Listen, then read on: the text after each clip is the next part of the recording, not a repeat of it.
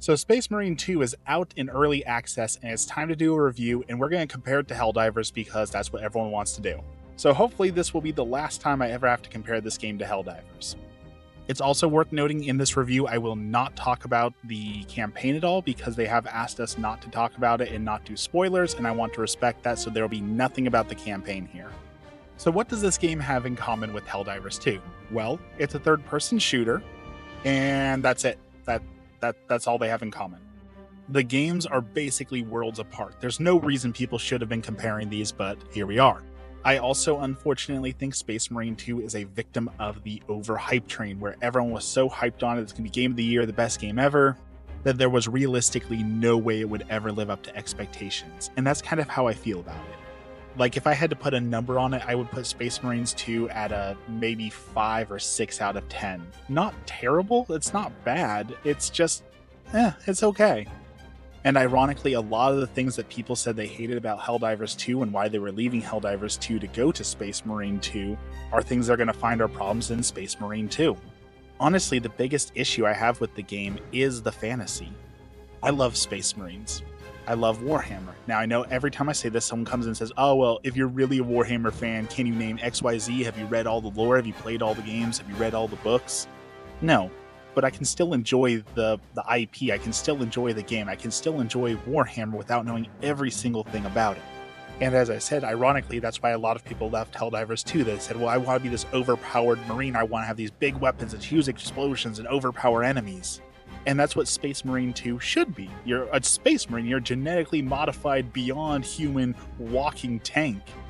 But you get surrounded by a few puny units and your armor and health get shredded in a matter of seconds and like the game has a melee focus but there's enemies who can block you which i get that from like a gameplay standpoint like i understand mechanically why that has to be but you're trying to tell me that this random lizard dude with a wooden shield can block a space marine who can put like 2.5 tons of force behind his hit like that makes no sense to me and that's one of those really hard things to balance right when you're doing mechanics versus lore well, what translates to lore doesn't always translate to gameplay, and I understand that and I respect that, but it really takes me out of the power fantasy. Like, even in game, if you're using the sprint button, you can run through humans. Like, you can just squish them because you're a walking tank. So if you run through them, they turn into a red mist. It's hilarious. But again, this random little dude with a wooden shield can block the full force of my hit. That, that makes no sense. Another one of the ironies is people complained about loadouts in Helldivers 2 and feeling forced to bring the same gear over and over and over again. And Space Marine 2 uses class systems, and it's very clear that some of the weapons are better than the others, so you end up bringing the same gear over and over again. So it's again, it's one of those ironies that I just kind of find interesting that this is what people said they were going to leave for, and then this game has the same issues.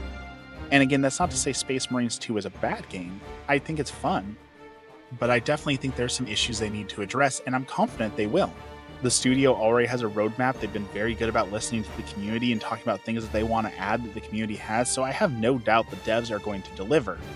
But from a gameplay review, I would say this one needs a little bit more time before I would say drop $100 on it like I did.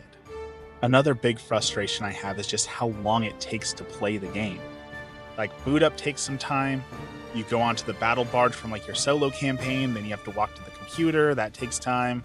You select a mission, and then you get stuck on a loading screen. And right now, there seems to be some sort of issue, uh, some disconnecting issues, and some issues with multiplayer where it's not working perfectly, which is creating these situations where, okay, I join this mission and I wait three minutes, no one joins the mission, so I have to quit the game, go back in, wait through all those loading screens again, create a lobby, wait again, still isn't working. Like, no joke, it took me almost 15 to 20 minutes to get into a match and this is a PvE match. So working together, you grab two other Space Marines and you have an objective to do on a linear map. And the linear maps are also a problem.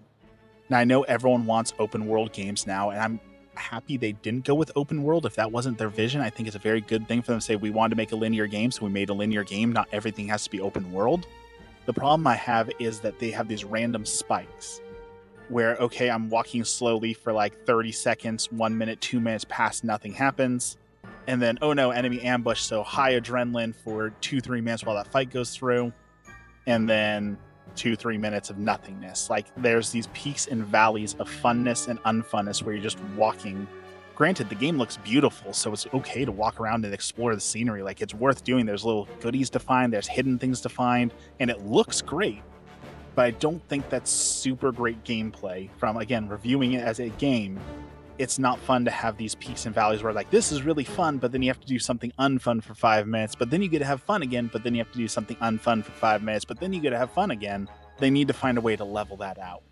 Comparing that to Helldivers 2, because the map is open world, at least not as linear as the maps in Space Marine 2, and this is especially true when you're on like level 10 difficulty, when you have those downtimes, you finally breathe a sigh of relief and say, ah, finally, there's no enemies. I can do an objective, or I can do this side objective, or I can get something done. There's something interesting to do. And I feel like a lot of the Space Marine 2 maps lack that interesting thing to do in those lulls. On to sound design. I think Space Marine has some great sound effects for like the weapons. They feel weighty, they feel chunky. The sounds of someone getting turned into red chunks feels good, sounds good. But the music is kind of just bland, boring, generic fantasy music like I certainly wouldn't put it on the level of Stardew Valley or a Final Fantasy game or anything that has like some legendary music, and that's a bummer. I think a lot of people overlook this, but sound design is one of the most important things in games. Like if a game has a good enough soundtrack that I can listen to that while I'm working or doing something else, like it helps me hype up the game, it helps me love the game, it helps me immerse into the game, it brings forth feelings, and I just don't see myself googling the original soundtrack for this game and listening to it, you know? Let's talk about the classes for a second. Not long ago, I made a video that I said I wish Helldivers 2 had some classes. I think classes are a great thing for a game, and I'm glad we have classes here. But I do have some gripes with it. Mostly that you can only have one of each class in a PvE environment. That's okay, I understand that. It's a balancing thing. Again, mechanically, that makes sense. But why then, if I can't play the Bulwark class, does it match me with other people who are currently selecting the Bulwark class? Where it creates these awkward moments where both people are just kind of silently staring at each other, waiting for someone to quit the game or change their class. It should either not match me with people who are already my current class, or give me like a tier system or a ranking system where I can say, well, I want to play this, but if that's already taken, I'm willing to play this, and if that's already taken, I'm willing to play this. That makes it much more seamless and much more fun. But I do love that each class feels different and they have a role to fill, and when you're fulfilling that role, you feel good in that role. The sniper's main job is taking out bigger enemies, heavy units, and being able to cloak, sneak around the map, and take out those big guys so they're not threats to the tanks. That just feels amazing. That feels peak gameplay when you're playing the bulwark and you're surrounded by enemies and you drop your banner and everyone's regenerating shield and you're just massacring through thousands and thousands of little grunts, that feels great. When you're playing the assault and you get a jump pack into the air and come slamming down and take out a whole group of enemies, that feels wonderful. But unfortunately, there are so many things that don't feel wonderful. The button on controller to use your med kit and switch your guns are the D-pad right next to each other, which leads to these moments where you accidentally use your one and only stem when you just want to swap guns. That feels terrible. Being a tank class who's supposed to get in melee range and watching your armor get shredded in 1.5 seconds doesn't feel great. Being a melee focused class in what appears to be a melee focused game and only having one button for melee feels like a really strange choice. And of course, like in every multiplayer game, when you have allies who have no idea what they're doing or playing poorly, that doesn't feel good. I know some people have said that the linear environment will get repetitive, and after you've done the same mission five or six times, there's no point in doing it. I don't think that's really going to happen.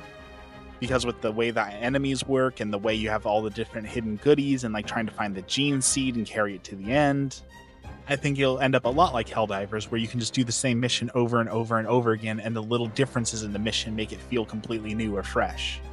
So I think the mixed reviews that this game came out to are fair. I think saying it's a 5 out of 10 is a fair review right now. But I also know the devs put a lot of heart and soul into this game, and I appreciate what they've made, and I've enjoyed what they've made, and I know that they're going to continue to work on it, and I think it's going to definitely get better with the next patch, with the next update. So if you're an absolute Warhammer fan, I think you're going to enjoy the campaign well enough that you definitely should get it.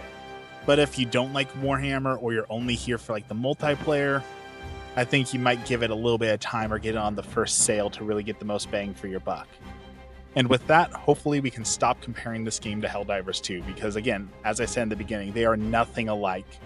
The fantasy is different, the mission structure is different, the way classes or characters work is different, the guns and loadouts are different.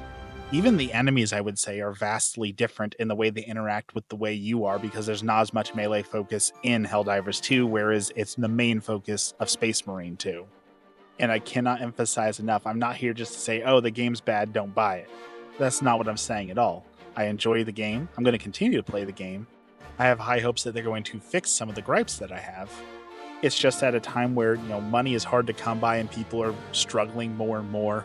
Rent and groceries, $60 is a lot of money. So people want an honest review towards a game before buying it because nothing feels worse than wasting $60 on a game that you play for an hour or two and say, yeah, this is awful, and then you never pick it up again.